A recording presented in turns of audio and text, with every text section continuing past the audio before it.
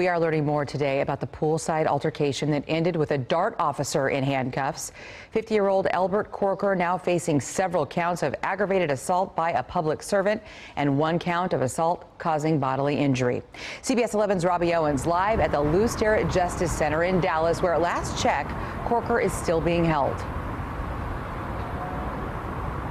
Well, Kaylee, we spoke to witnesses this afternoon who told us that Corker was first involved in an angry verbal exchange that turned physical with teens on the receiving end of that attack.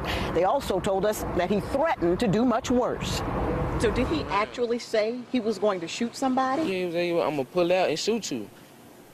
That's what he said in direct words. I'm gonna pull out and shoot Mad, you. he was just mad. These Lancaster teens say they were relaxing at the apartment complex pool Thursday when DART officer Albert Corker approached and demanded that their friend put out a cigar.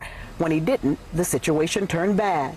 He came out his shirt and fought him. He just just charged him a partner, like he just hit him and started putting him in a chokehold, put him on the court. So I got a, like I tried, I kind of got him out of it, and then they just, my, him and my friend started fighting. So it, it, just, it was just really for no reason. According to Lancaster police, witnesses told officers that Corker followed the teens when they left the apartment complex, ramming their car with his personal vehicle. Yeah, I seen the girls running, and I asked what happened. They were like, yeah, he hit her. One of them crying, and one of them was pregnant. So what goes through your mind, young man, when you learn today that the man who did this is was an off-duty DART officer?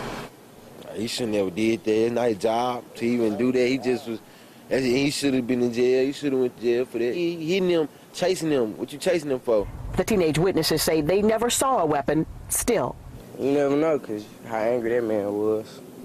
You never know. He was reaching for it like he had one. DART officials tell us that Corker has been placed on administrative leave. Live at the Lew Sterrett Justice Center in Dallas, Robbie Owens, CBS 11 News. All right.